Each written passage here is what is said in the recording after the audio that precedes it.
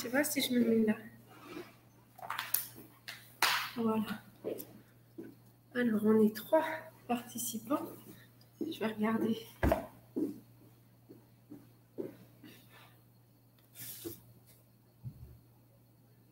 Voilà, quelqu'un qui est déjà arrivé. Alors là, normalement, je dois être sur scène. Moi. Ouais, ça y est, tu es sur scène. Bonjour à ceux qui sont déjà arrivés. On va attendre bien sûr 14 heures pour démarrer le webinaire.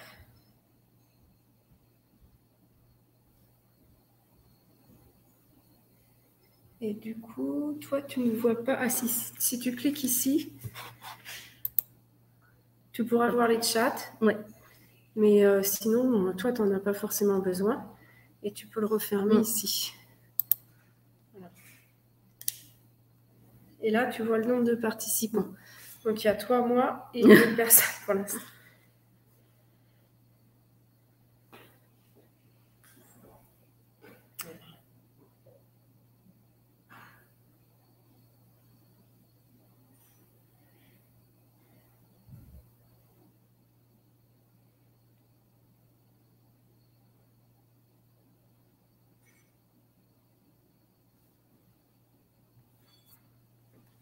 Besoin de te lever pour. euh, Euh, normalement, j'ai tout sous la bien. main. Voilà.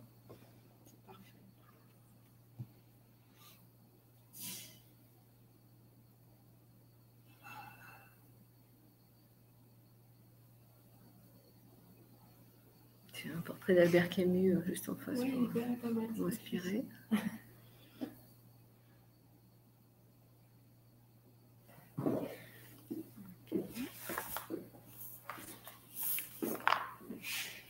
Hop. Quelle heure il est? 58, on va encore attendre un petit peu. Les gens arrivent tout doucement. C'était 14 heures pile, il me semble. Donc on va attendre un petit peu encore.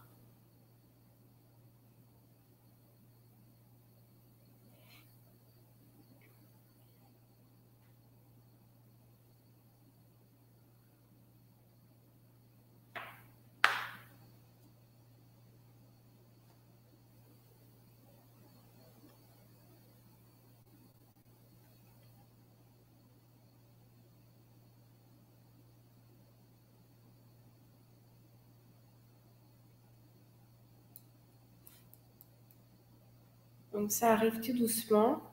Je mets un peu de son pour que vous puissiez tous chez vous tester vos sons Pour créer une sorte d'ambiance. Voilà, une crée d'ambiance. Le principe de ce système de webinaire, c'est qu'il n'y a que nous qui avons caméra et audio activés. Et donc, vous, par défaut, vous n'êtes pas activé au niveau son et vidéo.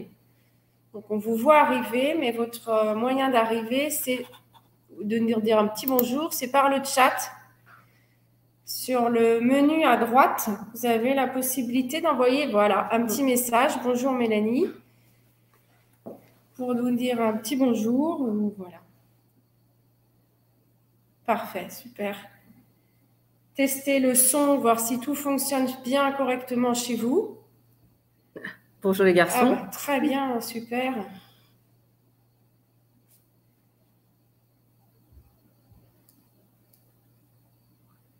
Parfait. Et J'attends encore un- une petite minute pour faire la petite présentation, pour ne pas prendre trop de temps sur euh, le temps de l'atelier de Nathalie. Parfait pour le son et l'image. Eh bien, très bien. Bonjour à tous.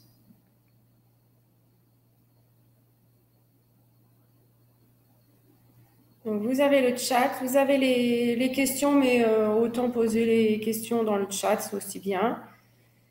Et puis un onglet sondage, on verra euh, si tu as besoin de l'utiliser, euh, Nathalie, on pourra toujours, tu pourras toujours improviser une question générale, et puis moi je le, je le ferai.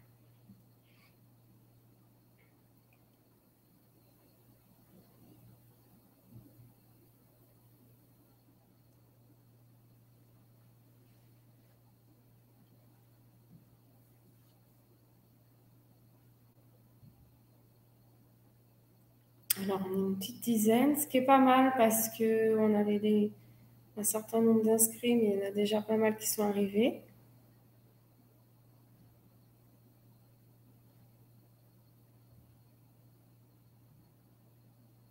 Donc, on attend encore quelques minutes. Bonjour. Bonjour. Euh, Céline. Céline, euh, Louane, c'est à Marion. C'est Louane, bah, c'est euh, le collège de Bon Château, non Céline Coine. N'hésitez pas à dire à ceux, voilà, ceux qui sont enseignants euh, ou pas, de quel collège ou de quelle ville vous êtes. Oui, c'est ça. Super, bah, c'est sympa d'être là. Comme ça, on saura aussi un peu d'où vous venez. Ça peut, ça peut être intéressant. Ben, je vais commencer la présentation. Il est 14h02. Le temps juste de faire la petite introduction. Et après, je laisse la parole à Nathalie. Donc, euh, je suis, euh, je suis Sophie Hamon. Je travaille donc pour Mobidis, notamment pour la bibliothèque Sondo, qui est à destination des collégiens. Et euh, entre autres, je m'occupe d'aider les collèges dans la prise en main de la bibliothèque numérique Sondo. Et euh, bah, cette année, nous avons euh, décidé d'avoir d'organiser un concours d'écriture. Alors, on est, euh, on s'est associé au site J'apprends l'énergie, qui est avec nous aussi aujourd'hui. Donc, j'en profite pour remercier justement Cécile qui vient d'arriver, Cécile Barbier et Manon Julibert, et aussi Jean Gomez pour nous avoir apporté ce concours sur un plateau doré. Euh, voilà, l'idée c'était de s'associer euh, avec J'apprends l'énergie pour proposer eh ben, aux élèves, aux jeunes élèves, eh ben, d'aller euh, d'aller se confronter un petit peu à l'écriture et de proposer donc un concours d'écriture de nouvelles sur le thème des énergies, de l'énergie, de la nature, de voilà, de l'écologie au sens large. Pour tous les participants au concours de nouvelles, il y a, je mettrai tout à l'heure dans le chat un petit lien vers un Padlet que nous a concocté ma collègue Estelle et qui résume un petit peu tout ce qu'on vous propose, voilà, de janvier là jusqu'à, enfin de début février jusqu'à avril, voire jusqu'à juin, avec un planning, avec le cahier des charges du concours, avec euh, voilà le fait qu'on vous offre aussi, on offre à tous les participants l'accès à 15 nouvelles qui sont dans notre bibliothèque Sondo. Donc, euh, si vous êtes abonné Sondo, vous avez la possibilité de rajouter ces 15 nouvelles en plus de votre abonnement. Et si vous n'êtes pas abonné à Sondo, on vous donnera des accès pour accéder à ces 15 nouvelles pendant la durée du, concours. Euh, on a aussi une nouvelle inédite qui est proposée par une autrice de l'équipe J'apprends l'énergie, Karine Patin, qui a fait l'exercice en respectant le cahier des charges du concours, donc l'écriture d'une nouvelle sur le thème de la nature et des énergies, dans un maximum de 4 à 5 pages. Euh, donc ça aussi, euh, n'hésitez pas à aller voir cette jolie nouvelle, de l'étudier avec vos élèves, etc. Et puis on a trois webinaires. Nathalie euh, inaugure le premier aujourd'hui. Trois webinaires. Le premier qui est consacré à l'écriture, voilà, pour accompagner à vous accompagner vous en tant qu'enseignant et puis donner des billes euh, aux élèves. Mais Nathalie vous, expliquera tout ce qu'elle va faire avec vous. Euh, on aura un deuxième webinaire avec justement l'équipe J'apprends l'énergie et des spécialistes et des ambassadeurs comme Mélanie Meni peut-être, qui racontera, qui expliquera, voilà, qui racontera des choses sur les énergies renouvelables pour donner de la matière à nos jeunes écrivains. Et un troisième webinaire sûrement sur la dyslexie, sur le trouble du langage, puisqu'on est là aussi pour faire passer du message et euh, voilà, aider ces jeunes élèves en, en, difficulté avec la lecture en leur disant on peut y arriver. Et passer par l'écriture, c'est un moyen aussi d'accéder à la lecture. Tout à fait. Euh, et puis, à l'issue de ça, eh ben, la remise des nouvelles au 15 avril, avec ensuite un jury et la publication des 10 meilleures nouvelles. Voilà. Donc voilà comment va se passer le concours. Je vais vous indiquer dans le chat l'adresse du Padlet où vous retrouverez toutes les informations pour vous inscrire et récupérer ces ressources. En attendant, je vais passer la main, la parole à Nathalie. Moi, je vais mettre juste à côté. Et donc, techniquement, Nathalie va faire son atelier et moi, je vais être comme une élève comme vous, voilà, auditrice. Je vais vous répondre à vos questions par le chat ou interrompre Nathalie quand il y a des questions voilà, qui méritent que je la coupe. L'idée aussi, c'est que ça soit vivant pour Nathalie le plus possible. Personne n'aime parler à un mur. Donc n'hésitez pas, voilà, à apporter des commentaires, euh, des remarques et des questions. Et moi, je serai votre porte-parole auprès de Nathalie pour rendre plus vivant l'atelier.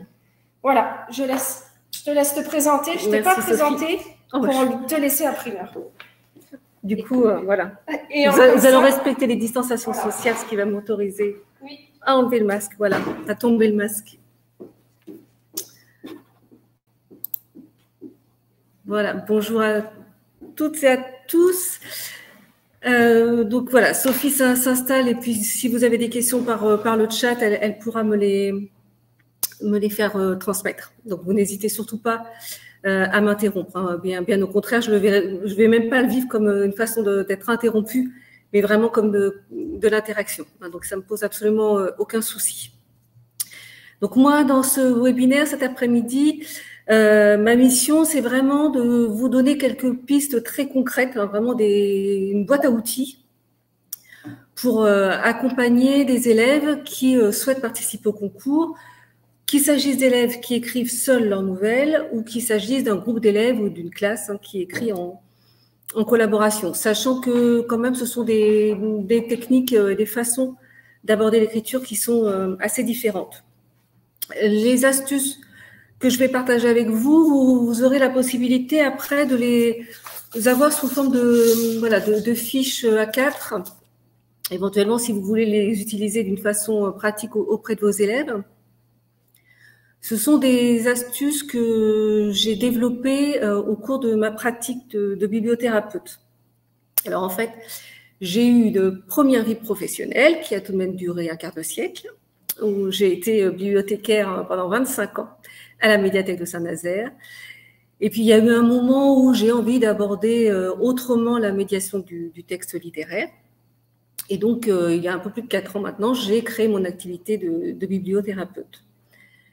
Euh, il se trouve donc que moi, j'anime des ateliers à destination de publics euh, fragiles, de publics fragilisés, qui sont bien souvent des publics qui ont été euh, éloignés du, livre, éloignés de la littérature, éloignés de l'écriture, et qui ne se sentent pas du tout, du tout légitimes à écrire. Dans les ateliers que j'anime auprès d'eux, il y a forcément un moment où, au début surtout, où moi je vais partager avec eux la lecture d'un texte ou d'un poème, et puis vient le moment où je vais les inviter. Alors quand je dis inviter, c'est euh, inciter euh, très très euh, fortement à passer eux-mêmes à l'écriture. Alors je ne vous cache pas que quand je leur dis ça, il y a un moment de, recul, pour pas dire un petit moment de panique. Et donc moi, il a fallu que je mette en place des, outils, des dispositifs pour que ces personnes-là euh, osent se lancer dans l'écriture et se sentent légitimes à écrire. Et je pense que c'est ce que vous allez peut-être rencontrer aussi parmi vos élèves. Donc il y a certains qui vont se lancer euh, tout, tout spontanément et avec beaucoup de plaisir et de confiance dans l'écriture et qui auront juste besoin d'être accompagnés de petits coups de pouce. Et puis d'autres pour qui effectivement voilà, cette question de la légitimité, le fait de se mettre en route, ça risque d'être un petit peu plus compliqué. Donc voilà, je vais me baser un peu sur ce que j'ai pu, moi, observer euh, dans ma pratique. Et les, astuces pratiques que je vais vous donner, en fait, elles sont euh, basées sur les. Construites autour de quatre constats que j'ai pu faire dans mes ateliers. Euh, le premier, c'est l'importance de s'appuyer sur le vécu de la personne qu'on accompagne dans l'écriture. Alors, quand je dis le vécu, évidemment, ce n'est pas un grand destin, hein, surtout avec des élèves de, collège. Ils ont rarement derrière eux un destin voilà, à partager. Le vécu, c'est vraiment la vie quotidienne dans ce qu'elle a de plus banal, de plus trivial, de plus ordinaire. Et euh, insister sur le fait que ce vécu-là nous fournit un matériau suffisant pour écrire, c'est extrêmement important parce que bien souvent, euh, les élèves ou même les plus grands ont le sentiment que les écrivains, euh, bah, ils sont faits d'une autre chair que nous, ils vivent une autre vie que nous. On n'imagine pas Victor Hugo qui pousse son caddie dans les rayons du supermarché, et à juste titre d'ailleurs, bon, dans le cas de Victor Hugo. Euh, mais Annie Arnaud, elle, elle pousse son caddie dans les rayons du supermarché. Donc, euh, un, écrivain, ça s'appuie aussi sur la même vie que nous pour, pour pouvoir écrire. Je prends un exemple, euh, premier exemple concret, euh, qui est celui de la galerie commerciale. Alors ça, c'était l'exemple que j'avais un peu prévu, mais en ce moment, les galeries commerciales, c'est un petit peu compliqué de les prendre pour exemple. Donc je vais prendre l'exemple du bus. Donc les bus euh, roulent encore. donc quand vous êtes dans une galerie commerciale ou dans un bus, bah, il y a des gens. Des gens, des personnes, des personnages. le pont, voilà, il se fait assez facilement vers l'écriture d'une fiction, hein, on a autour de nous des gens qu'on peut observer. Euh, il y a des mots qu'on entend, voilà. Dans notre vie, on a déjà du matériau. Le deuxième exemple que je peux prendre aussi sur ce, vécu, c'est bien sûr la pratique du jeu vidéo. Et là, le lien avec euh, l'écriture de fiction narrative, il est évident. Hein, quand on pratique un jeu vidéo, euh, évidemment, on est mis en contact de personnages, il y a un cadre, il y a un décor, il y a des intrigues. Alors, on a plus ou moins de latitude euh, pour interférer, agir dessus, mais tout, ce vocabulaire-là, qu'on on va pouvoir le transférer après aussi dans l'accompagnement de l'écriture. Et moi, je trouve que c'est important de montrer à l'enfant que toutes les compétences qu'il a pu développer dans sa pratique du jeu vidéo, ben, ce sont des compétences qu'il va pouvoir transposer dans sa pratique de l'écriture. Voilà. Et ça, c'est important. Du, coup, j'en arrive à mon deuxième constat, qui était l'importance de s'appuyer sur les compétences des personnes, toujours dans le domaine de l'écriture. Euh, en sport, il y a des gens qui sont très doués pour la course à pied et d'autres qui sont euh, irremplaçables dans les sports collectifs. Dans l'écriture, c'est un peu pareil. On a nos points forts, on a nos points faibles. Euh, vous avez des personnes qui imaginent, qui sont capables d'imaginer des univers de fantaisie, alors que voilà, c'est pas une compétence qui est donnée à tout le monde. Euh, d'autres personnes qui vont être très douées pour les dialogues. Euh, moi, je suis pas très douée pour les dialogues. Ben, j'écris des textes où il y a très peu de dialogues. c'est une façon de, de contourner l'obstacle. alors, évidemment, c'est toujours important de travailler ses points faibles, de progresser. Mais en même temps, euh, moi, les personnes qui me disent à quel point leur vie a été bouleversée par un roman de Marc Lévy, elles vont me parler des personnages dont elles ont fait connaissance dans ce roman. Elles vont parler de toutes les intrigues qui sont arrivées. C'est assez rare que quelqu'un me dise avoir été bouleversé par le style de Marc Lévy. Et de la même façon, euh, je n'attends pas du poète Philippe Jacotet, s'il n'est pas déjà mort, qu'il écrive pour la prochaine rentrée littéraire le polar qui va me faire trembler avec un suspense à tomber par terre. Philippe Jacotet, je pense, quelque part, se doute bien qu'il est pas très doué pour le thriller et qu'il vaut mieux pour lui, pour nous, surtout en tant que, que qu'il écrive de la poésie. Donc, à l'importance de montrer aux enfants qu'il existe plusieurs façons d'écrire et que c'est à eux aussi de trouver la façon qui va être la plus en relation avec leurs compétences. Donc ça peut être un test très dialogué pour des enfants qui sont très doués pour le dialogue.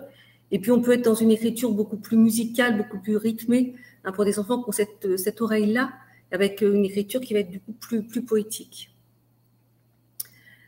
J'en arrive au troisième point sur les outils. Alors les outils, ce sont des accessoires, mais ce n'est pas accessoire du tout dans le processus d'écriture. Euh, parmi les adolescents qui prennent plaisir spontanément à écrire, euh, beaucoup vous diront que euh, quand ils ont un projet, quand ils ont envie d'écrire, ils vont aller à la papeterie et il faut s'acheter un beau carnet, un beau stylo.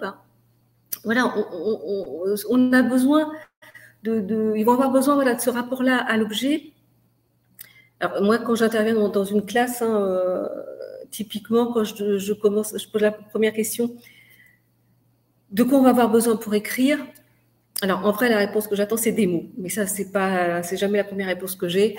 La première réponse que j'ai, c'est le papier du crayon. Euh, donc ça, voilà, c'est important. On peut avoir envie d'avoir un beau carnet. On peut, par contre, être beaucoup plus inspiré en écrivant sur des petits bouts de papier, des petits, fragments, etc. Et puis, euh, parmi les outils, ne pas négliger euh, un outil qu'on a bien souvent maintenant dans la poche ou dans le sac, qui est le smartphone. Une note à prendre à la volée, on n'a pas toujours papier crayon sous la main. Ah bah, il y a une fonction pour prendre des notes dans le smartphone. Euh, on peut s'enregistrer, voilà. Donc, le, choix de l'outil, à la fois, c'est celui qui va permettre à l'enfant de se sentir à l'aise, d'avoir envie de prendre plaisir à écrire sur le beau carnet, ou de se sentir à l'aise parce que son smartphone, il sait qu'il peut faire plein de choses avec. Alors, d'ailleurs, un, petit aparté, si vous l'avez jamais fait, euh, sur la fonction messagerie de votre smartphone, vous commencez à taper un message, vous sélectionnez un mot parmi les trois qu'on vous propose et vous rebondissez comme ça de proposition en proposition et vous écrivez un super texte surréaliste. Voilà, donc l'outil, c'est aussi quelque chose qui, qui est aussi inspirant. L'audio aussi, tu conseilles Oui, l'audio aussi, oui, tout à fait. J'y reviendrai, voilà, ouais, tout à fait. Ouais. On peut s'enregistrer Exactement, oui, tout à fait. Oui, la, fonction dictée vocale aussi qui peut permettre de, de, franchir ce barrage parce que écrire, euh, ce n'est pas tenir un stylo. Hein. Euh, alors, moi, là, c'est pas avec des jeunes, c'est avec des personnes très âgées ou avec des personnes en situation de, de, de lourd handicap. On écrit tous ensemble, ils ne tiennent pas le stylo. Hein mais ça ne nous empêche pas d'écrire, d'avoir une posture d'écrivain pendant le, temps d'atelier. S'appuyer sur son vécu, sur ses compétences, avoir des outils qui vont être stimulants, euh, tout ça, c'est des choses à rappeler aux enfants qu'on accompagne parce qu'en en fait, le premier frein, la première chose qu'il va nous falloir démolir pour qu'ils osent entrer dans l'écriture, c'est le mythe de l'inspiration. Ce que j'appelle le mythe de l'inspiration, c'est l'idée qu'il y a une muse qui vient euh, susurrer euh, à l'oreille de l'écrivain, ou alors une espèce de rayon lumineux, genre poussière d'étoile, qui, lui descend dessus, et parce qu'il est écrivain, et l'inspiration, forcément, elle s'adresse à lui, et puis il n'a plus qu'à écrire, et c'est merveilleux. Et donc, forcément, comme nous, on n'est pas écrivain, euh, en tout cas, moi, j'ai jamais eu le rayon avec la poussière d'étoile qui, qui m'arrive dessus. Je ne désespère pas. Hein, je, je, voilà, je, lance un appel comme ça. Si le rayon avec la poussière d'étoile veut descendre, il peut. Mais en attendant, euh, on peut dire à nos élèves que euh, leur vécu, leurs compétences, leurs outils, c'est déjà beaucoup, c'est déjà suffisant pour se lancer dans l'écriture. Donc voilà, c'est avec ces fortes de ces quatre constats-là que euh, j'ai bâti les fiches que je vais vous présenter ensuite autour de donc six fiches astuces autour de trois thématiques. La panne, alors là c'est quand il n'y a rien à faire ou ça veut plus. Euh, les personnages, comment construire un personnage et puis aussi comment le voilà lui donner un petit peu de, chair. Et les dialogues ça, c'est peut-être parce que c'est une problématique personnelle, peut-être, sachant que je suis nulle sur les dialogues, je, ne désespère pas de progresser. Euh, ces astuces-là, on peut les mettre, en, pour certaines, en pratique, en action, directement dans l'écriture de la nouvelle. Et puis pour d'autres, ou selon contexte, euh, c'est un peu comme, euh, comme une gymnastique, comme un entraînement, comme une souplesse. Dans l'intitulé, de ce webinaire, on parle bien de créativité littéraire. Et la créativité, bah, ça demande de la souplesse.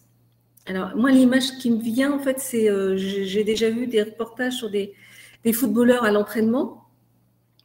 On les voit qui, euh, pendant des heures, font passer le, ballon d'un pied sur l'autre ou qui passent entre des plots. Et je crois que le soir de la finale euh, contre le PSG, ils ne font pas passer le ballon d'un pied sur l'autre pendant des heures et ils ne courent pas entre des plots. Mais si malgré tout, ils sont entraînés à faire ça, c'est que sans doute, le soir de la finale, ça leur sert à quelque chose. Eh bien, les astuces que je vais vous proposer, voilà, elles peuvent être aussi utilisées pour montrer aux enfants que, euh, voilà, l'écriture, c'est aussi, euh, comme on disait dans Candy, un peu d'astuces d'espièglerie. je parle euh, à une génération qui, me comprendra. Alors, première fiche, première fiche astuce, donc voilà, de celle que vous retrouverez si vous souhaitez hein, sous, ce format-là et qui est quand on est euh, en panne, ça peut être en panne pour démarrer ou bien euh, pour redémarrer à un moment de, de l'écriture. Euh, là, je l'ai symbolisé sous la forme d'un arbre. En fait, le principe, c'est le principe de la carte mentale hein, ou, carte heuristique. Donc, graphiquement, je trouvais que le, le système de l'arbre était, était, assez sympa. donc là, en fait, on va partir d'un mot qui va euh, être vraiment le, mot sur lequel on va baser. Euh, donc, en l'occurrence ici ça peut être énergie, mais ça peut être aussi un terme plus précis dans, le domaine, qui va vraiment être notre, notre thème de, départ. Ce mot, donc je l'inscris en dessous de l'arbre, et puis petit à petit, d'idée en idée, je vais bah, bondir d'une branche à une autre et d'une feuille à une autre, et écrire un mot qui me fait penser à un mot, qui me fait penser à un mot, qui me fait penser à un mot. Euh, ce qui paraît a priori le plus évident, c'est évidemment de grimper comme ça sur l'arbre d'idée en idée. Hein. spontanément, on va, on va associer euh, euh, l'idée de l'énergie à l'idée de la force, à l'idée de l'électricité. ce qui est très intéressant, mais on peut aller un petit peu plus loin. On peut le faire avec des mots qui riment. Alors, vous me direz que faire rimer mobilette avec cacahuète, a priori, ne présente pas d'intérêt. Euh, et eh ben moi, je pense que si, en fait, faire rimer mobilette avec cacahuète, ça peut être très intéressant.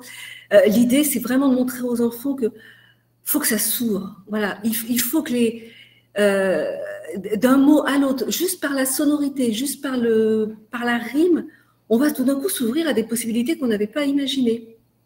Finalement, la mobilette qui tourne à l'huile de cacahuète, l'huile de moteur de cacahuète, je ne sais, pas, je, suis en pleine impro. Pourquoi pas? Et ça va être aussi euh, cette contrainte-là de se dire on va le faire par la rime et pas par le, sens seulement. Ça peut permettre de, partir vraiment du coup sur des pistes qu'on va explorer et qu'on n'aurait pas forcément euh, imaginées. Et, du coup, les branches, du coup, par exemple, comment on peut euh, Est-ce qu'on peut se dire je mets des adjectifs ou ça fait trop, c'est trop serré Alors moi, j'ai généralement tendance à, à laisser relativement libre. Après, je peux comprendre que dans un contexte pédagogique ou autre, on puisse se dire, ou parce qu'on pense aussi que la contrainte peut être aussi très fructueuse, voilà, de se dire. Mais euh, c'est vrai que si ça part dans tous les sens, bah, tant mieux. Quoi. Bon, ça, c'est un peu ma philosophie. Euh, le petit truc en plus, alors à faire si on accompagne un groupe, je dirais pas une classe complète, hein, parce que là, il vaut mieux quand même un petit groupe de 5 ou 6. Après, c'est difficilement gérable. En fait, on a mis un mot on a mis une première feuille, un premier mot sur une feuille, et en fait, on passe sa feuille à son voisin, on récupère la feuille du voisin, et donc on, renchérit comme ça, euh, branche à branche et, feuille à feuille sur, la, feuille sur la feuille, des, voilà, qui tourne. Et puis donc, du coup, après, autour avec un tour de table, on se retrouve avec des feuilles très différentes et avec des propositions qui vont être aussi euh, très riches. Alors évidemment, si on le fait avec un groupe de 30 personnes, c'est euh, ingérable parce que déjà le temps que les feuilles tournent, euh, c'est très compliqué, puis c'est ennuyeux, c'est lassant pour tout le monde. Voilà, donc ça, cette technique-là, donc elle peut s'utiliser aussi hein, quand on a démarré la nouvelle et puis qu'à un moment on est, on est coincé, donc on repart en bas de l'arbre avec un mot, le mot voilà, qui exprime l'idée sur laquelle on n'arrive pas à avancer. La deuxième solution pour s'en sortir en cas de panne, là, c'est plutôt, en fait, on a démarré et puis, euh, bah, euh, on sent que c'est un peu poussif. Ou alors, on sent que notre texte, il est, sec, quoi. Enfin, c'est assez aride. C'est, oui, il y a des, il y a idées, mais justement, il n'y a que de l'idée. voilà. Et que ça a besoin d'un petit peu de chair, un peu d'épaisseur et de, s'incarner un peu. Et ben, on va prendre un moment du récit, on va se poser, et on va l'explorer par les cinq sens. Alors, le plus facile pour moi, c'est la vue. Moi, ça ne me pose aucun problème. Donc, je vais vraiment pouvoir euh, imaginer avec beaucoup de détails hein, ce qu'on voit. Euh, on peut aussi évidemment imaginer ce qu'on entend dans cette situation, ce que le personnage va entendre dans cette situation. Le toucher, le sens du toucher, ça peut être un peu plus difficile. Euh, l'odorat, alors il y a des personnes pour qui c'est très facile l'odorat.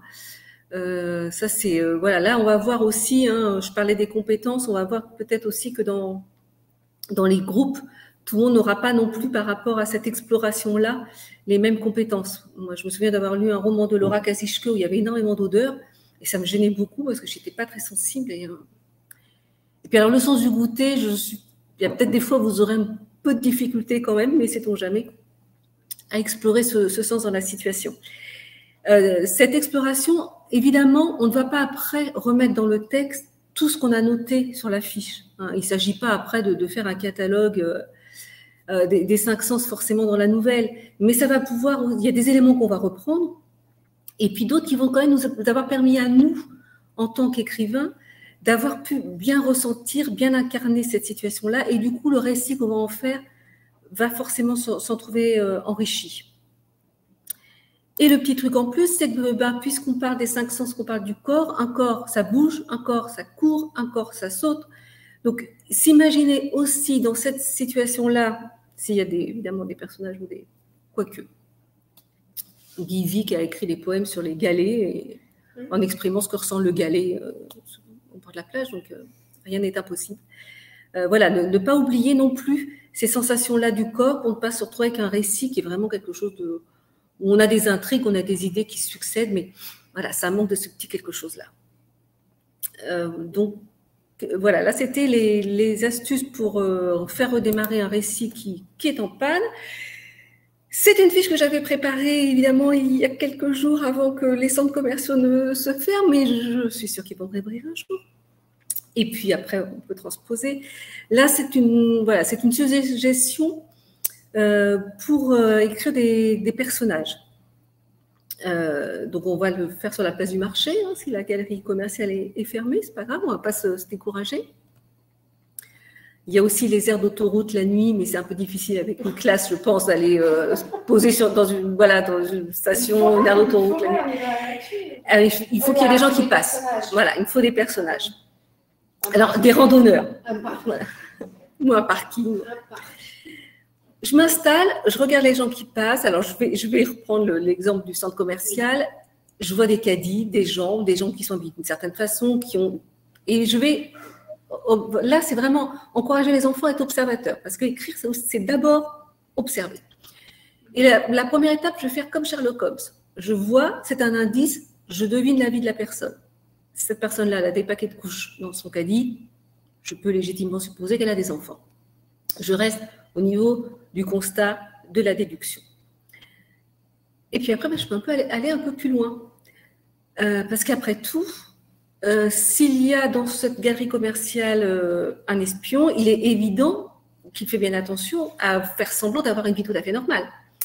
Donc, à moi de deviner, à partir de ce que je vois dans son caddie, de son comportement, cette vie cachée qu'il peut avoir, d'imaginer tous les secrets qu'il peut cacher. Donc là, on peut se projeter un peu plus et, et se dire qu'effectivement, à partir de ce que j'observe, je peux aussi là, imaginer, inventer et me, projeter beaucoup plus. Le petit truc en plus, c'est, euh, donc là c'est pour les enfants qui osent s'installer et, euh, devant tout le monde et sortir le petit carnet et le, crayon. Sinon, on peut peut-être faire des enregistrements discrets avec le, smartphone. C'est les, phrases qu'on va, saisir au vol. Alors, moi, je, me souviens d'être un jour passé comme ça dans une rue à côté d'une dame qui était au téléphone et qui a dit Mais qu'est-ce que tu veux que je fasse d'un kilo de moule Et alors, j'ai trouvé que voilà, trouvé que cette phrase était extraordinaire. Alors là, elle m'a fait la journée Mais qu'est-ce que tu veux que je fasse d'un kilo de moule Et donc, toutes ces petites phrases-là, euh, s'entraîner à, les, noter, ce n'est évidemment pas, on ne va pas s'obliger après les remettre dans la nouvelle, mais c'est se dire que oui, voilà, on, va commencer à entendre, on va, puis après, hein, à partir d'une phrase, on peut se mettre à délirer aussi, à construire euh, toute une partie du récit à partir de ce qu'on a entendu. Et ça rentre aussi toujours dans cette idée que dans notre vécu quotidien, banal, trivial, il y a du matériau pour écrire. Il n'y a pas besoin d'aller chercher plus loin. Toujours construire un personnage. Alors, ça, ça dans certains jeux vidéo, euh, alors notamment dans les Sims, euh, on va vraiment créer complètement son personnage. Alors physiquement, choisir la couleur des yeux, choisir la couleur des cheveux, etc. Euh, c'est le système en fait de, se créer un avatar. donc là, on peut faire, on peut demander aux enfants de faire comme ça des fiches descriptives des, des différents personnages. Alors le plus facile, le plus évident, euh, c'est évidemment euh, fille, garçon ou personne non binaire, évidemment, euh, de décrire après son âge, de décrire son aspect physique, ses vêtements. Et puis après, On va passer aussi à ses passions, à, son, métier. tout ça, ça reste assez facile. Et puis, il y a quelque chose qu'on voit souvent dans les jeux vidéo, dans les jeux de rôle. Alors après, les élèves au collège sont peut-être un petit peu jeunes pour avoir expérimenté les jeux de rôle, mais qui sont en fait pour chaque personnage, chaque personne a des points de courage, par exemple, ou des points d'astuce, ou voilà. Donc, un personnage peut avoir trois points de courage sur cinq, et un autre n'en aura qu'un. Voilà. Donc, on, a comme ça. Euh, euh, c'est des choses qu'ils peuvent avoir déjà eux hein, retrouver dans les jeux vidéo et du coup que ça leur parle pour transférer et donc sur la fiche de présentation du personnage, on peut aussi comme ça lui attribuer des points euh, par trait de caractère. Euh, et puis évidemment, on lui ajoute des accessoires. Alors selon la nouvelle, ça peut être des objets magiques, mais aussi des objets de la vie quotidienne. Et de s'obliger comme ça à aller très précisément dans la description des accessoires, c'est ça aussi qui va faire de notre personnage autre chose qu'une sorte de, porte-manteau euh, un peu un peu vide et, de, s'être obligé à lui assigner par exemple trois, quatre accessoires. Donc forcément, ça nous aura obligé quand même à cogiter un petit peu sur ce qu'il est au quotidien et, des caractéristiques euh, plus, plus précises. Si on veut aller un petit peu plus loin dans, dans la construction du personnage, eh bien, on l'imagine en train de réagir dans des situations euh, complètement inhabituelles. Voilà, on le, on le met en condition dans des situations qui ne sont pas celles qu'il va rencontrer après dans la nouvelle, mais qui sont en fait des situations qui vont nous permettre à nous de l'expérimenter. Avec les jeunes enfants, ça peut être aussi plus pratique parce que dire on va donner à notre personnage des points de courage, d'altruisme ou d'empathie, c'est pas toujours très parlant. Mais dire voilà, mon personnage est dans un petit avion qui est en train de s'écraser, qu'est-ce qu'il fait? Est-ce qu'il va euh, consoler euh, la dame qui, qui va en panique et qui pleure? Est-ce qu'il va se rouer dans le cockpit pour essayer de prendre les manettes à la place du pilote? De l'imaginer dans cette situation-là, et eh bien en fait, je vais parler de courage, je vais parler d'altruisme, je vais parler d'empathie, euh, sans avoir besoin de manier des concepts, mais vraiment plus en, faisant cette, cette, mise en situation-là. Et du coup, voilà, on va se retrouver avec un personnage qui, va vraiment avoir une, vraie consistance. Et après, dans la nouvelle, on va vraiment le, nous le, faire vivre parce qu'on l'a senti vivre et qu'on l'a vraiment fait vivant. Et ça, forcément, ça va se ressentir après dans la nouvelle. Parce que juste un simple prénom, un sexe, un prénom, c'est pas suffisant pour faire un personnage. Il faut qu'il y en ait beaucoup. Est-ce qu'on a besoin oui, non, non. Est-ce qu'on a besoin d'avoir beaucoup de personnages ou est-ce que, enfin, On a besoin de rien. Je veux dire, tout est possible. On peut très bien, effectivement, avoir une nouvelle où il n'y a qu'un seul personnage, qui est en position d'être le narrateur ou pas d'ailleurs, euh, et euh, le personnage, je, à un moment, n'est pas forcément une personne humaine non plus. Oui. Euh, c'est ça qui est pratique avec l'écriture, c'est que tout est possible. Juste un papier, un crayon, tout est possible. Mais faut, je pense qu'effectivement, ne, pas se, mettre en frein, ne pas se dire, ben, moi, mon texte, il n'est pas bon parce que c'est pas un personnage qui a dedans, mais c'est un objet qui parle ou c'est pas un vrai texte parce qu'il n'y a pas de dialogue et dans un texte il y a des dialogues. Non, on, a inventé, euh, voilà, on a utilisé un nouveau style ou inventé un nouveau style. Et donc, du coup, voilà, je passe à la partie sur les dialogues.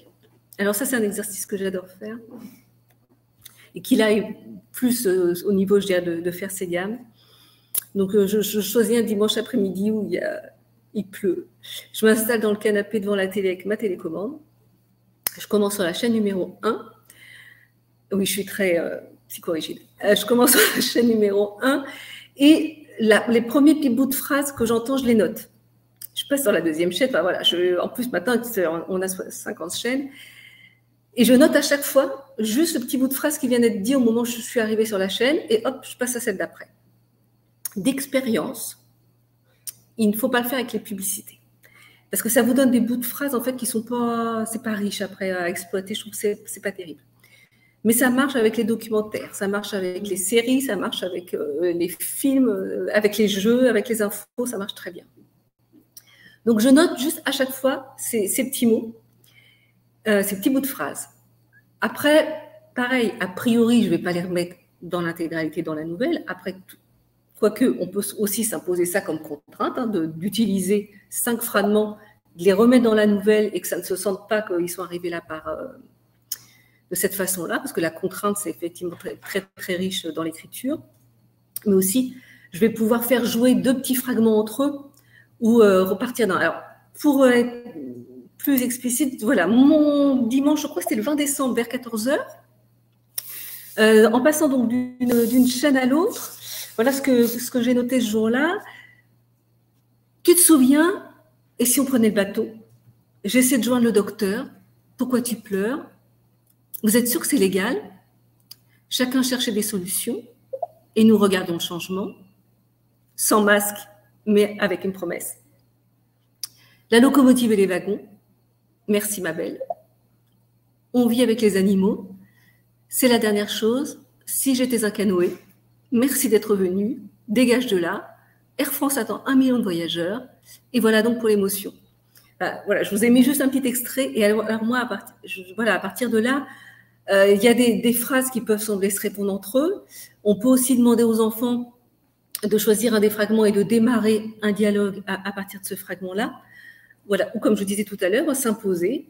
Chacun dans sa, dans sa liste de zapping, il en prend cinq et il le case dans son texte. Combien de temps, on pose la question, combien de temps tu restes sur une chaîne avant de zapper ou tu poussé en nombre de mots, J'accroche, euh, voilà, je prends la première accroche quand j'arrive, les premiers mots, le premier bout de phrase qui démarre. Donc des fois, je peux tricher un peu dans la deuxième phrase si vraiment la première me paraît trop. Voilà.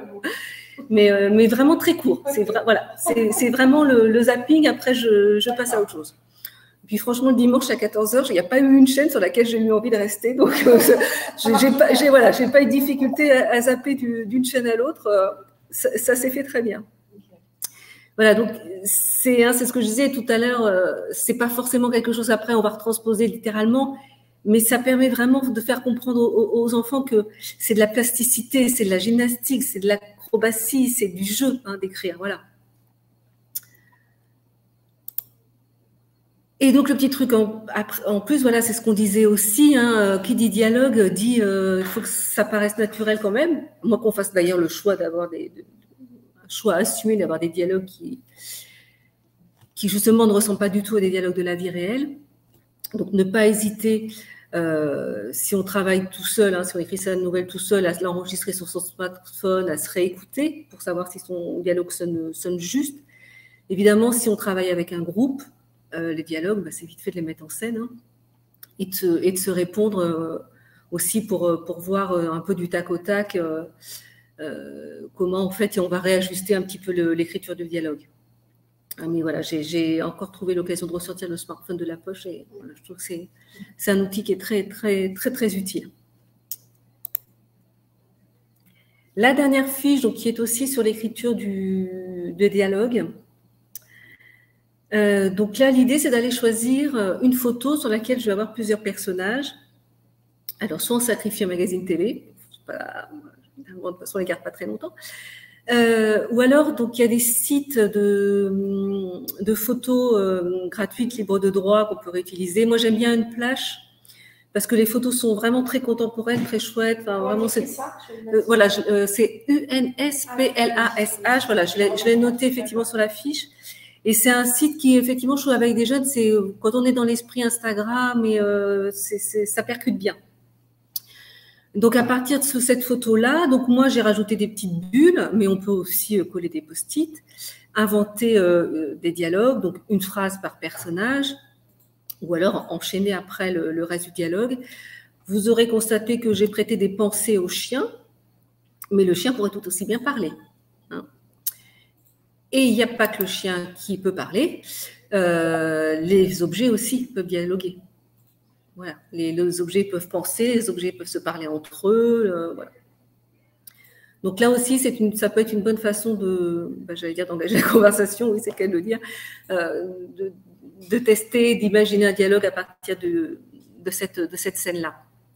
Euh, moi, je suis allée chercher des photos euh, en ligne, mais euh, si vous êtes en train d'écrire une nouvelle à plusieurs, on peut aussi aller faire un rallye photo et puis ramener des photos en, lien un peu avec la thématique hein, qu'on avait choisi de, traiter, pourquoi pas. Donc voilà, donc ces fiches-là, vous, les retrouverez concrètement. Puis je pense que du coup aussi, ces astuces-là, c'est des choses après que vous pouvez décliner sous d'autres formes. Je vais faire un, petit focus sur l'écriture collaborative. Alors, accompagner quelqu'un qui écrit tout seul, c'est quelque chose que, voilà, on imagine assez facilement, on a tous à un moment ou à un autre été en situation d'écrire son texte. Là où l'enfant peut avoir aussi besoin, c'est d'être encouragé, d'être vraiment de façon à aller vraiment jusqu'au bout de, son texte. Accompagner un, groupe en écriture proprement collaborative, c'est une technique qui est un petit peu différente, qui a ses spécificités et, ses contraintes aussi. Alors, l'écriture euh, collaborative, c'est même plus précis, je dirais, que l'écriture d'un groupe, parce que vous pouvez faire écrire un groupe, par exemple, à partir d'un texte qui est proposé par un des, un des élèves du groupe. Alors, je, cite cet exemple-là parce que concrètement, ça m'est arrivé. Je suis arrivée, on avait prévu un atelier avec des enfants pour écrire un, conte, et puis c'était des enfants qui se connaissaient, qui, vivaient dans le même immeuble. Et puis, à l'arrivée de l'atelier, une jeune fille m'a dit Moi, j'ai écrit une, euh, histoire chez moi avant de venir. Donc, je n'avais pas lui dire bah, Écoute, ma cocotte, tu la remets dans ton sac, ça ne m'intéresse pas. Euh, donc, euh, tous les autres gamins la connaissaient bien Ouais, c'est super et tout, tu as écrit une histoire. Donc, j'ai dit bah, D'accord, on va partir de ton histoire pour construire l'histoire qu'on va écrire tous ensemble. Ce qui veut dire que c'est super pour nous de pouvoir se baser sur ce que tu as écrit, mais tu sais, à l'arrivée, il y a sans doute des choses que tu vas pas reconnaître, on aura fait plein de changements dedans, puis il y a peut-être des choses que toi, tu n'aurais pas fait. Voilà, tu n'aurais pas voulu que tes personnages ils changent comme ça, mais voilà. Donc là, on était parti, et puis on avait tous contribué à partir de ce récit-là. Euh, l'autre euh, solution, c'est aussi de, par exemple, de répartir entre, donc je vous ai dit, hein, les, chacun a ses compétences, euh, dans un groupe, très spontanément, euh, les membres du groupe vont repérer les compétences de chacun. Et on va, par exemple, on va s'apercevoir que si on ne sait pas écrire un mot, on va demander euh, à Fatima, elle a une très bonne orthographe. si on cherche un, rebondissement, parce que là, notre histoire, on sait pourquoi, qu'est-ce qui pourrait bien arriver, machin, il a plein, plein d'imagination, il va nous sortir de là. Euh, donc le groupe, il repère, il valorise, il encourage ce travail sur les compétences. Donc on peut se dire, ben, on va répartir. Fatima fera la correction de l'orthographe et puis euh, euh, Mathieu, lui, il, va faire les dialogues. C'est pas forcément la solution la plus satisfaisante. Je la cite aussi parce que de la même façon, été en situation de la, tester, mais on était aussi dans, d'autres cadres, mais aussi sur l'écriture d'un conte. Donc comme un conte, c'est très structuré, on avait pu répartir euh. Mais bon, la véritable écriture collaborative, c'est là tout le groupe qui va participer à l'écriture euh, à tous ces niveaux euh, du même texte. Donc c'est un peu compliqué. alors, généralement, on, on, distingue trois étapes. La première étape, celle du brainstorming, comme on dit par chez nous. donc, qui va être en fait, voilà, on va commencer à lancer un peu toutes, toutes les idées en vrac. Euh, avec toujours cette idée de carte mentale, par exemple. Hein, donc, euh, on peut après lui donner cette forme-là d'une carte mentale, ce qui va nous permettre, cette carte mentale, à la fois de recueillir toutes les idées, de les visualiser, de les organiser, et puis évidemment d'en faire naître d'autres, hein, de, branche en branche. Voilà, donc là, avec ça, on a déjà ramassé un bon matériau, on va aussi commencer à élaguer certaines branches et, euh, à se mettre d'accord sur la forme que va prendre le récit en ne s'interdisant surtout pas au cours de, la rédaction du récit de modifier. Parce que on, fait un texte, mais le texte, il nous fait aussi hein, au fur et à mesure. Voilà. Et ce qu'on avait imaginé pour un personnage, ben, le personnage, il n'est pas d'accord, il va faire autre chose. Donc, euh, il ne s'agit pas de ne pas l'écouter, de ne pas le coincer euh, dans ce qu'on avait prévu, nous, en amont, hein, ce personnage. Ensuite, on va passer donc à la rédaction proprement dite. Alors, c'est le moment le plus, euh, oh, j'allais dire un peu foutoir, un peu libre, un peu foufou, où euh, voilà, tout le monde fait ses propositions. Non, voilà, moi, c'est c'est pas la seule méthode, la seule façon de le faire. Hein. Je vous raconte comment je l'ai lu pratiquer, mais euh, après, je pense qu'il y a tout à fait d'autres façons, tout aussi légitimes de, le mettre en œuvre. Euh, donc, tout le monde fait ses propositions. il y a un scribe qui va être chargé d'enregistrer de, propositions. Et alors là, euh, moi, quand j'ai expérimenté, ce qui était très drôle, c'est quand il y avait des propositions qui des fois étaient très différentes, voire très opposées. Donc, ça peut être sur un, mot, sur le nom du personnage, ça peut être sur ce qui va lui arriver. Euh, alors moi, est-ce que j'ai eu beaucoup de chance? Je ne sais pas, mais les enfants ont entamé des négociations d'eux-mêmes. Moi, je n'ai pas eu besoin d'intervenir. Euh, tout le monde n'arrivait pas à se mettre d'accord à l'unanimité sur une, une, des propositions qui était faite. Il y en avait deux voilà, qui émergeaient généralement, deux qui, tiennent la corde. pas d'unanimité, et ben en fait, à chaque fois, ils cherchaient une troisième voie. Donc du coup, c'était très très riche. Une troisième voie à partir de ces deux propositions qui allait satisfaire tout le monde. Et euh, du coup, ben voilà, le, scribe prend note à chaque fois dès que les, négociations sont terminées, prend note de ce qui a été euh, choisi. Le rôle du scribe aussi, alors qu'il peut être tenu par l'enseignant, mais bon, pas, obligatoirement. Euh, mais c'est peut-être pas plus mal parce que c'est un rôle important puisque c'est lui quand même qui va acter hein, le choix qui a été fait, donc c'est une responsabilité quand même. Et puis tout au long, surtout, il va régulièrement relire ou re-résumer hein, euh, là où on en est. De face... Du coup, ils, doivent proposer des phrases, les phrases écrites, ou, dire ah, voilà, ça serait bien qu'ils tournent dans un trou. Non, tu, tu demandes à ce qu'ils disent. Euh, oui, oui, oui. Mais voilà. Hein, euh. oui, oui, oui. Après, euh, généralement, de même, ils sont dans le processus d'écriture. Ah oui, voilà. Ça. Même s'ils sont à l'oral, ils sont dans un processus d'écriture. Ils sortent la phrase. Ils sortent la phrase. oui, parce qu'ils sont, ils sont vraiment dans le processus d'écriture. Et le fait que le scribe va relire régulièrement aussi ah le texte, ça induit bien qu'on est dans un. Voilà, on n'est pas en train de raconter une histoire à l'oral, on est bien en train de l'écrire. Et ça, on n'a même pas besoin de leur faire tout un blablabla dessus. Ils le, voilà, ils le sentent qu'on est dans une situation qui est très particulière, qui est une situation d'écriture. Et voilà. Et donc le scribe, il, reprend euh, régulièrement là, où on en est, euh, de façon à ce qu'il y ait aussi une, cohérence. Et puis l'étape de la révision, c'est la pire, parce qu'on est content, on a fini. Et voilà. Et ben maintenant, c'est pas fini. C'est ça qui est moche. Euh, donc il faut reprendre tout ce qu'on a écrit parce que forcément la, question de la cohérence, alors elle se pose aussi d'ailleurs quand on écrit tout seul une nouvelle. Il hein. faut être sûr que son personnage, on ne lui a pas fait faire le contraire de ce qu'il pouvait faire au début, mais elle se pose encore plus dans un texte qui est écrit euh, en collaboration. Donc la question de la cohérence, la question évidemment de... Bah, on peut aussi à ce moment-là retester les dialogues, euh, vérifier qu'il n'y a pas de grosses fautes de, de, grammaire ou de fautes d'orthographe. Voilà. Et cette étape-là, il faut résister à une tentation qui serait la tentation de Ah bah tiens, ça me fait penser. Ah bah tiens, j'ai une nouvelle idée. Parce que si on rajoute, alors qu'on est justement en train de travailler sur la cohérence du texte, si on rajoute un élément qu'on n'avait pas prévu, là, on risque en fait de patatras, tout fiche en l'air et de, tout faire s'écrouler. En fin de compte, voilà, le, le mieux est l'ennemi du bien. Et donc voilà, et cette étape de, la révision aussi, ça peut être aussi l'occasion aussi de, faire un petit peu l'équivalent du, chemin de fer dans l'édition, hein, où on a bien comme ça notre découpage de l'histoire pour vérifier effectivement qu'on a quelque chose qui, se tient et qui est, bien, bien, bien construit, bien structuré euh, aussi. Voilà, donc sur les techniques, euh, enfin sur, les spécificités de cette écriture euh, collaborative euh, qui est toujours un peu voilà, délicate parce qu'il y a des susceptibilité, des sensibilités, des susceptibilité des fois à, gérer. Euh, quand ça se passe bien, le groupe lui-même, il, répartit bien, mais c'est pas toujours. Combien de temps euh, est-ce que la rédaction, est-ce que ça peut s'envisager sur une séance d'une heure? Imaginez que le professeur de lettres, le professeur de documentaliste, ou, mm. Euh, ça, il peut, faire, il peut imaginer ça, une heure d'écriture par exemple, et puis après, Alors, d'après, ça se euh, Sur, euh, je dirais peut-être une heure et demie quand même. Mais euh, moi, ça m'est arrivé qu'on arrive à, à dire, à, créer une histoire complète, effectivement, sur une seule séance. Alors que j'avais pensé que, franchement, ça serait pas suffisant. Mais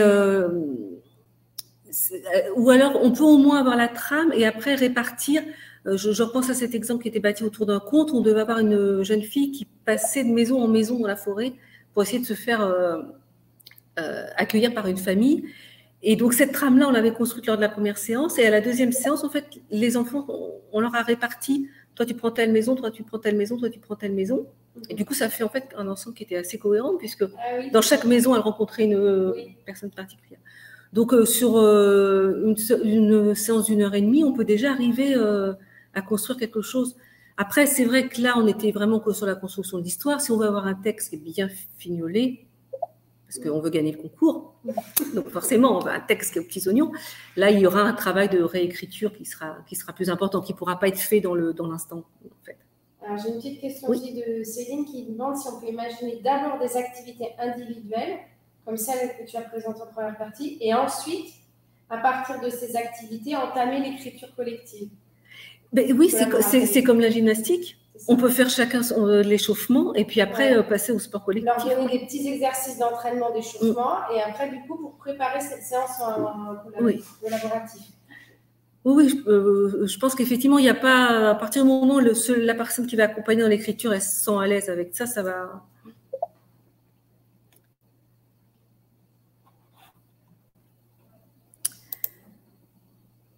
Et donc, euh, une dernière petite partie sur les outils numériques. Alors, je ne cite pas les outils numériques uniquement pour faire euh, jeune et moderne, quoique j'aimerais bien faire jeune et moderne. c'est parce qu'en fait, c'est non seulement c'est utile, c'est pratique, mais c'est inspirant. Et c'est en ça que je trouve que c'est voilà, ça a tout à fait sa place dans un webinaire sur la créativité littéraire. Comme les outils dont je parlais tout à l'heure, avoir un beau carnet avec un beau papier, un beau stylo, ça va nous inspirer. Ces outils numériques-là, ils vont aussi être utiles dans le processus de création euh, littéraire euh, lui-même. Donc, j'ai distingué trois types d'outils les cartes mentales, les tableaux et les outils d'écriture collaborative euh, proprement dit. Alors, les cartes mentales, donc moi, voilà, j'aime bien travailler avec MindMaster parce que je le trouve chouette et ergonomique. Euh, par contre, en version gratuite, il n'offre la possibilité d'utiliser que de créer que trois cartes. Pour l'écriture d'une nouvelle, c'est possible. Après, on peut toujours avoir plusieurs adresses mail. Et puis, évidemment, donc chez Framasoft, hein, qui propose toute une, suite de, logiciels libres et qui sont euh, accessibles gratuitement. Pour ceux que je cite, ils sont aussi euh, accessibles sans avoir besoin de télécharger euh, ce qui est quand même plus pratique, je trouve, quand, on a un accès en, ligne. Donc, il y a FraMindMap. alors, évidemment, souvent, le logiciel libre en termes d'ergonomie puis de, de glamour, c'est un peu moins. donc, les cartes mentales, ça, on avait déjà vu l'utilisation qu'on pouvait en faire. Euh, les tableaux, euh, donc les tableaux, souvent, je crois que dans l'éducation, on a pas mal euh, utilisé Padlet. Donc les tableaux, ils vont nous permettre de, si on, écrit tout seul, on va se garder pour soi ses idées, sinon on va pouvoir les partager aussi. une idée, une petite note, hein, comme sur un post-it, mais aussi une photo. Tiens, ça, me plaît bien cette photo-là, j'ai vu ça, ça me donne des idées. Ou un site, ou voilà, donc de garder comme ça toutes ces petites choses-là sur le tableau et bien évidemment de les partager. Alors, Padlet était, je crois, en illimité, gratuit, limité, c'était la Fiesta. Et je crois depuis quelque temps, c'est un peu moins la Fiesta qu'en gratuit, euh, on a droit qu'à 3-4 tableaux, sauf de ma part. Euh, donc, euh, je suis allée faire fouiller un peu. Il y, a une autre solution de tableau. Une autre solution de tableau gratuite, alors que je n'ai pas encore expérimenté, mais qui avait l'air bien sympa, qui s'appelle Middle Spot et la seule contrainte, c'est que ça nécessite d'avoir un compte Google, si je ne dis pas de bêtises. Après les tableaux, donc les logiciels d'écriture collaborative proprement dit, ben, ce sont typiquement les logiciels où à chaque fois vous vous rajoutez une page, une ligne, pardon, elle apparaît avec une couleur différente. Hein. donc euh, si c'est euh, Aïssatou qui écrit, euh, ça va apparaître en rouge. Voilà, donc on voit les contributions de, chacun qui, qui apparaissent de couleurs différentes. Chez Framasoft, il y a donc le fameux Framapad. Et puis, bah, sinon, il y a tout simplement euh, Google Doc. Donc, à, chaque fois sur les deux, euh, donc ils sont gratuits, qui sont euh, sans installation. On peut intervenir de manière synchrone. Hein, on écrit ensemble le texte, on corrige ensemble, on modifie ensemble, on peut intervenir sur les, actions de l'autre les versions sont sauvegardées automatiquement, on peut revenir en arrière sur l'ancienne version et on peut exporter aussi le, texte. Voilà. Un petit mot de conclusion sur bah, la, distinction qu'on peut faire entre l'accompagnement d'un élève qui va écrire seul sa nouvelle et l'accompagnement d'un groupe qui va écrire un récit collaboratif. Il y a évidemment euh, des choses qui sont euh, les mêmes, hein, le fait de s'appuyer sur le vécu, le fait de s'appuyer sur les compétences, en sachant que dans un groupe, parfois, le groupe de lui-même va se dire que c'est intéressant d'utiliser les compétences de, chacun. Euh, le choix des outils, là, effectivement, il peut être un peu contraint par, la situation. Le, joli petit carnet, c'est bien quand on est tout seul. C'est peut-être pas l'outil le plus pratique quand on est en, groupe. Euh, les outils numériques, certains peuvent très bien s'utiliser quand on est seul. Hein, utiliser son smartphone, utiliser Padlet tout seul pour garder ses idées, pourquoi pas. D'autres sont vraiment très, très utiles quand on écrit à plusieurs. Euh, tout ce qui va de toute façon être euh, valable à tous les coups, qu'on accompagne un élève qui écrit tout seul ou qu'on accompagne un groupe, c'est de se faire plaisir. Et ça, voilà, qu'on écrit tout seul ou qu'on écrit en groupe, parce que c'est, difficile hein, d'écrire. Commencer, c'est facile. Commencer, c'est très facile. Des, débuts de texte, j'en ai plein chez moi. Des textes que j'ai terminés, j'en ai un petit peu moins déjà. Dans mon tiroir, il y en a, un peu moins. Et, euh, eh ben, il faut garder le rythme, il faut garder l'énergie jusqu'au bout, il faut garder l'envie. Et puis, bah, si on ne se fait pas plaisir, ça va être compliqué d'aller jusqu'au bout. Et ben voilà, je vous remercie euh, pour votre attention. J'ai vu que, je remercie beaucoup Sophie, que j'ai vu euh, vous, vous, répondre euh, au fur et à mesure et, et prendre en charge cette partie du, chat et, vos questions. Alors, quelques questions encore. Oui. J'avais une question, moi, sur la, la taille du texte. Parce que tu sais, on a, dans le concours, on a mis un cahier des charges, on dit qu'on attend 4 à 5 pages de nouvelles. Mm. Est-ce que oh, ça, fait peur On se dit, oh là là, euh, si on leur dit aux élèves, il nous faut 4 pages, c'est terrifiant, je ne pas le faire. Ou au contraire, ça peut aider certains à dire, bah, j'ai un cadre pour savoir un peu où je vais. Enfin, comment on fait pour gérer cette longueur de texte? Est-ce qu'on les laisse euh, Alors, moi, je, spontanément, je répondrai, mais c'est spontanément et ça, ça se discute évidemment. Peut-être ne pas leur dire qu'il y a un minimum dès le départ mais utiliser bah, donc la technique de. Donc, on n'a vraiment pas les quatre pages. Et alors, moi, je, là, je suis bien placée pour dire, parce qu'à chaque fois que je réponds des appels à texte, mes textes sont toujours trop courts. On n'a pas les quatre pages, on va utiliser la technique des cinq sens. Il y a peut-être un endroit où on a juste mis en une ligne, ah ce qui pourrait très bien prendre tout un paragraphe. Euh, dire, je sais pas moi, mon personnage euh, se promène en forêt, et puis il rentre chez lui. En même temps, Proust, là, il en fait 12 pages, lui. Euh, donc, peut-être pas dire aux enfants dès le départ, il va falloir faire quatre pages, parce que là, effectivement, puis en plus, c'est une contrainte qui n'est pas très, forcément très créative. Mais après, reprendre, tant pis, on n'a qu'une petite trame. Bon, dis donc, là, on a juste dit qu'il allait en forêt, mais qu'est-ce qu'il fait en forêt? Est-ce que c'est quelqu'un qui aime bien aller en forêt, ce personnage-là? Si ça se trouve, il n'aime pas ça du tout. Oui, les aider à poursuivre voilà. certains passages pour étoffer un peu. Oui, tout à fait. Parce que, effectivement, il y a aller en forêt, aller en forêt. Alors, j'ai une question d'Anne-Marie qui demande auprès de qui peut-on demander conseil sur les débuts de l'écriture d'un livre? Si elle doit aller vers quelqu'un.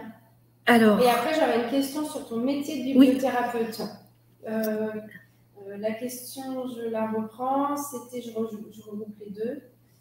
Euh, Anne-Marie qui demande dans quel cadre exerce-t-on le métier de bibliothérapeute Que faut-il faire pour alors, pour, pour le, se faire aider pour euh, l'écriture du livre, alors il y a effectivement des, des, personnes, donc vous pouvez en trouver, qui font de l'aide, de l'accompagnement à l'écriture. Euh, alors moi, ça m'est arrivé de, de, le faire aussi. C'est vrai que c'est rare que les gens aillent jusqu'au bout. c'est très, voilà, on, c'est très chronophage, c'est très énergivore de, de, mener un texte jusqu'au bout.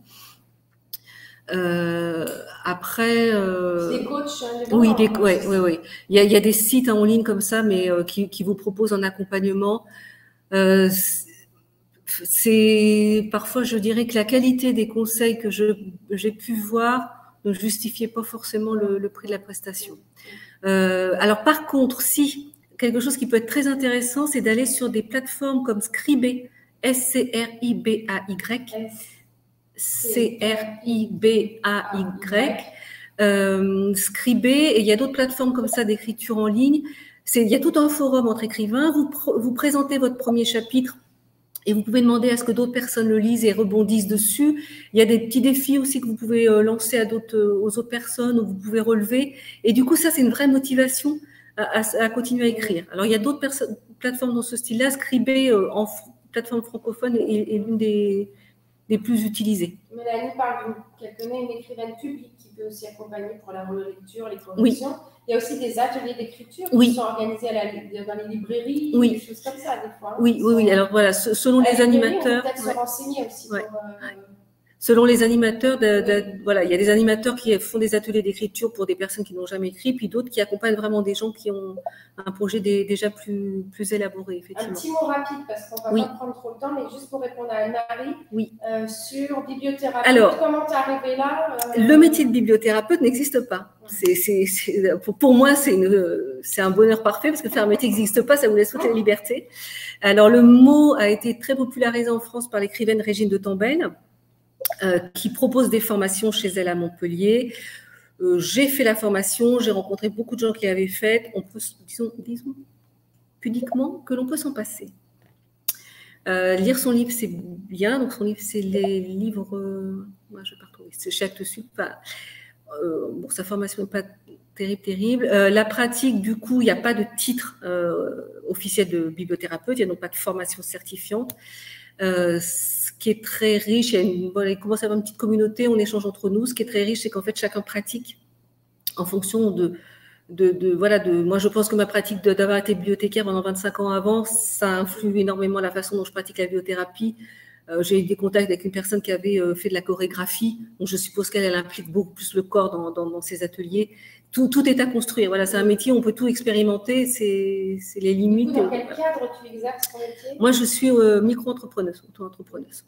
Et donc, tu vas monter des ateliers dans les, euh, dans les établissements scolaires, dans les, pour des associations, pour... Euh, je travaille dans des maisons de quartier avec des tout petits, je travaille dans des collèges, je travaille dans des EHPAD, je travaille avec des, des, associations qui viennent en aide aux personnes qui souffrent de troubles de la santé mentale, avec des personnes qui sont... Voilà, qui sont handicapés, euh, je travaille avec des personnes polyhandicapées. Voilà, à chaque fois, c'est des établissements, des collectivités ou des associations.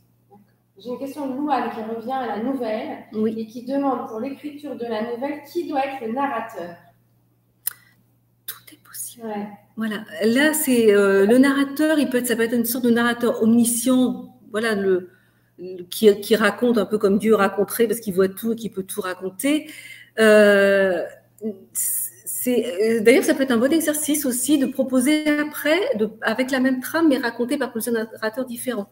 Et on peut même euh, faire une sorte de récit choral comme ça. Hein. Les, romans récit choral sont basés comme ça. Je pense aussi à un roman d'un Américain qui, faisait à partir des objets. Donc, on peut imaginer la même histoire racontée par ce narrateur omniscient, la même histoire racontée par le personnage principal à la première personne, mais qui du coup ne verra pas tout, parce qu'il y a des, voilà, il y a des événements qui à lui vont, vont lui échapper la même histoire racontée par le, par le chien, par le. Voilà, c'est. Euh, là, tout. Ça peut être du coup un très bon exercice aussi, ça, avec la classe. Voilà. voilà de, et puis de, puis de changer les points de vue. Et après, soit on en choisit un parce qu'il nous paraît le plus cohérent, soit si on est vraiment très fortiche, parce que là, ça devient très fortiche, dans la nouvelle, on arrive à intégrer ces, ces différents narrateurs. Mais là, c'est. je reviens sur ton activité collective. Ça ne doit pas être évident quand même d'avoir. Euh, de, mener. Enfin, ce que je veux dire, c'est que faut quand même que tu aies quelqu'un comme toi ou du professeur qui va mener mm. l'écriture collective. Oui. J'imagine plutôt que de dire bah, vous trois, vous travaillez en groupe à trois et on les laisse tout seuls. Euh, moi, je, moi, je dis toujours que je préfère prendre en charge parce que du coup, s'il y a des dissensions, c'est moi, je, leur dis carrément bah, à un moment, je vais décider. Et du coup, c'est quelque part, si quelqu'un doit faire le rôle de la méchante, et eh ben c'est moi. Et ça évite que les enfants, voilà, se, se, disputent entre eux, parce que je, alors je vais être à leur écoute. Si le groupe fonctionne très bien, que ça, ça négocie entre eux, c'est super. Puis à un moment, je vais dire bon bah alors là, bah, écoutez, moi c'est ça que je préfère. Puis voilà, puis c'est moi le scribe et j'assume en tant qu'adulte aussi mm. euh, cette fonction-là pour éviter effectivement que dans le groupe, parce que il peut y avoir dans un travail en groupe, et puis il y a toujours des relations souterraines que nous, les adultes, on voit pas forcément entre les enfants et des, jeux de manipulation qui peuvent se faire à ce moment-là. Moi, je trouve que c'est bien quand l'adulte aussi, euh, bah, voilà, il est l'animateur, il prend ça en charge aussi. Parfait. Merci. Alors, tout le monde est ravi. Tout le monde te remercie, euh, Nathalie, euh, pour cette intervention passionnante, oh, bah. vraiment intéressante, etc. Donc, merci à vous. merci énormément. Il est 15h05, donc on ne va pas trop tarder. On va garder quelques 2-3 minutes si vous avez des dernières questions. Ah, et ma question, Cécile, mince. Ah, et à l'inverse, quand l'écriture est partie et particulièrement prolifique, comment canaliser sans frustrer? Pardon, Cécile, j'avais pas vu. Eh bien, on va frustrer. Ouais, c'est, voilà, là, je, je, pense effectivement, euh, ah ben, oui, c'est ça aussi écrire, c'est, renoncer. Voilà, je, je, je, me lance dans la file au passé 15 heures. Euh, écrire, c'est aussi, voilà, c'est faire des choix, c'est renoncer. Est-ce qu'il n'y a pas une partie du, du texte qu'on a un peu beaucoup développé et qui du coup paraît vraiment trop développé par rapport à une autre? Et là, on va peut-être synthétiser un petit peu. Euh, mais euh, voilà, là, là, voilà, là, bah, oui, ça fait partie de la vie, ça fait partie de l'écriture. On dit que c'est trop long, oui. Enfin, un retour en disant c'est trop long. Et ben, oui, et, et oui, oui, oui, parce qu'en plus, euh, ce qui est facile là, c'est qu'on participe à une nouvelle et qu'il y a un cahier des charges. Oui. Donc, de toute façon, la contrainte, elle est là, il faut que ça rentre dans le cahier des charges. Euh, donc, c'est soit il y a un rebondissement qui peut être en trop, je pense par exemple comme dans une structure du compte où on va rencontrer euh, un ennemi, deux ennemis, passer une épreuve, deux épreuves, trois épreuves. Bon, après la quatrième épreuve, ça commence à faire beaucoup, quoi. Est-ce qu'il n'y a pas une épreuve qui est un petit peu plus faiblarde? Est-ce qu'il n'y a pas, ou au contraire, la balade en forêt Est-ce qu'il fallait vraiment faire trois pages pour décrire la balade en forêt? Oui, c'est ça. Voilà, il y a toujours des, paramètres sur lesquels on peut jouer. Euh. Là, je crois que j'ai fait le tour des questions. J'avais effectivement pas sauté la question de Cécile. Après, de toute façon, moi, à partir de mon nom, on me retrouve facilement sur euh, Internet, les réseaux sociaux, voilà, mon site Internet, Facebook, etc. Donc, s'il y a une question qui vient après, euh, voilà, il n'y a aucun souci. On va utiliser le Padlet que nous a fait Estelle, qui est super chouette. Et euh, peut-être qu'il y a moyen, euh, Estelle, de poser des questions aussi dans le Padlet, je ne sais pas. De toute façon, je reste disponible sans aucun problème. Il y a Luan qui te remercie aussi. Ma feuille blanche va maintenant être complète. ouais, très bien. Et Anne-Marie, qui, a, qui tu as donné envie de me remettre à l'écriture. Ah, super, super. Donc c'est parfait, bah, c'est formidable. Je reviens avec toi oui. faire un petit coucou, un petit au revoir à tout le monde, de loin, avec mon masque. Eh ben, merci à vous tous.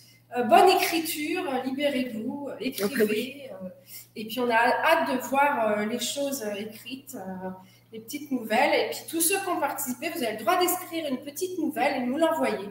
Et puis on verra bien, on pourra partager ça au moins sur le Padlet et puis à voir comment, quelle forme ça peut prendre derrière. Merci beaucoup Nathalie. Non, bah, donc c'était tout plaisir pour moi. Et bonne journée à vous tous. Voilà. Au revoir tout le monde. Merci. C'est moi qui coupe derrière. Oui.